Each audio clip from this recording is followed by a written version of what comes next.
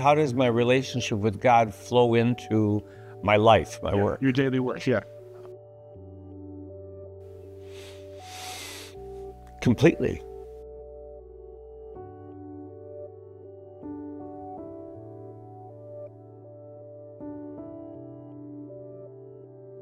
There's a lot of correlation there. Um, I think that uh, when my spiritual life is at its healthiest, I am a much better, uh, more effective counselor. Um, I find that when I am in touch with God, when I um, am praying, when I am engaging with my spiritual life, engaging with spiritual practices, I'm able to to listen. Uh, I'm able to offer students more of me. Um, whereas when I'm when I'm not as engaged, when I'm not as in touch with God, um, I tend to I tend to pull back a bit. Uh, and so I think it's important, essentially, to practice what I preach. You know, I, I talk with students a lot about not only developing academically, um, but developing spiritually.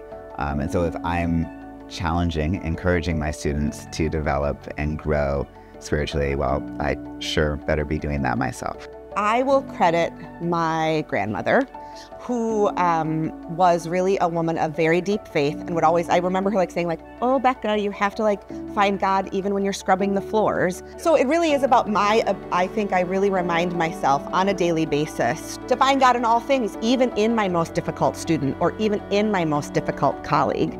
Um, to uh, just be able to remember kind of the goodness that is inherent to them, right? Well, it all starts with the Imago Dei, right? The image of God. So if, if every one of us is truly created in the image of God, then that's a great place to start. Uh, it's, a, it's a place of non judgment. It's a place of saying, wow, you and I are in this together. We're peers. We're, we're the sons and daughters of God, and that's a powerful, powerful thing.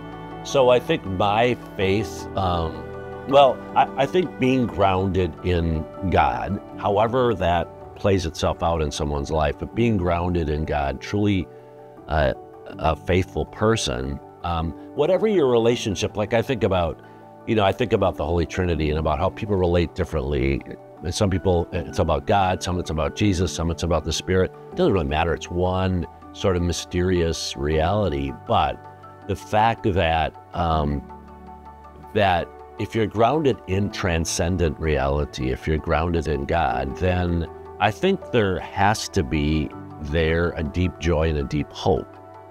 Um, not so much happiness and optimism. Those are, I think, are, you know, are society's ways of, of trying to make sure everything's okay, but a real deep joy and a deep sense of hope. Um, and so faith, faith in the presence of God is the avenue, almost the door um, to entering into community, entering into service. Um, if we don't have faith, the rest isn't really going to come. And if it does come, it's not necessarily going to be as genuine as we may want it to be. Christianity is based on the incarnation, God becoming human, God becoming one of us. So it seems to me there's nothing more important than acknowledging that and one of the ways De La Salle did that is to teach his brothers and his students to remember they are constantly in the holy presence of God. Whether that's out in nature, whether that's in church, whether that's in an intense conversation with someone, whether that's at a wedding or at a funeral, somehow, in some mysterious, gracious way, God is present. And that's what needs to be celebrated. And in terms of teacher student, I think it's a, one thing that a mentor, a teacher can help a young person come to understand and appreciate and value.